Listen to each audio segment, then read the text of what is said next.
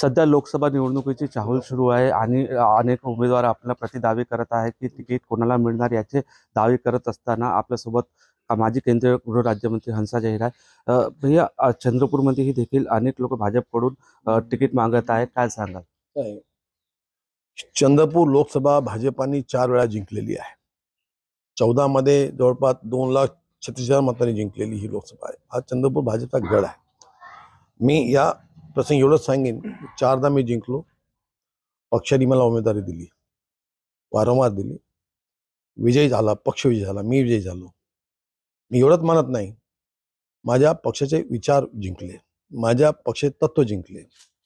आणि लोकशाहीचा अर्थ असा आहे की ही विचारांची लढाई असते. आणि या ठिकाणी पक्ष जिंकला. मी जिंकलो. तत्व जिंकले. लोकशाही जिंकली. आणि संविधानाचा विजय झालेला आहे.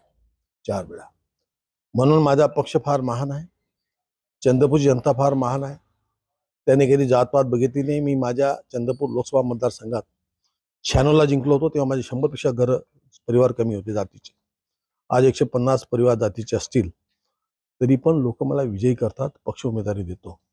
म्हणून मला विश्वास आहे की चंद्रपूरच्या जनतेला माझ्या पक्षाचे विचार आवडतात. ते त्याला पसंत करतात. त्या विचाराचे लोक झालेले आहेत मतदार झालेला आहे. म्हणून यावेळेस लोकसभा पुन्हा आम्ही जिंकू.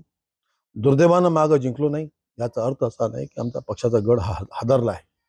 आमचा पक्षाचा भाजपचा गड आहे. तो आम्ही पुन्हा काबीज करू. धन्यवाद. होते केंद्रीय गृहराज्यमंत्री माजी केंद्रीय राज्यमंत्री हंसा आहेत. Nilesh Dhad T V nine Marathi Chandrapur.